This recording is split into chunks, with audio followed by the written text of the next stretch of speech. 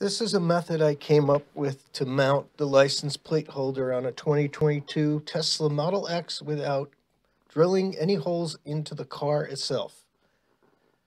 Here you'll see the white plastic wood I'm using. That's going to hold it up against the vent in front.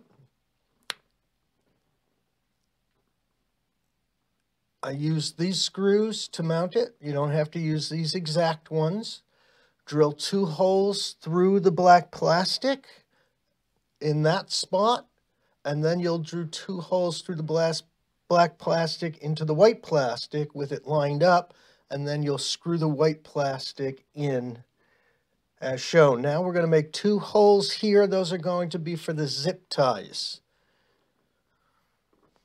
Now we're mounting on the car. I've doubled up the zip ties because they weren't long enough and you can see where it's attached to the vent.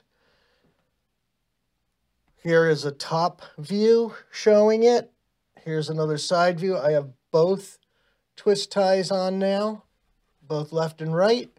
Tighten them right up. Your plate will fit in perfectly. You don't even have to cut them. You put the license plate right over, screw in the license plate, and you are done.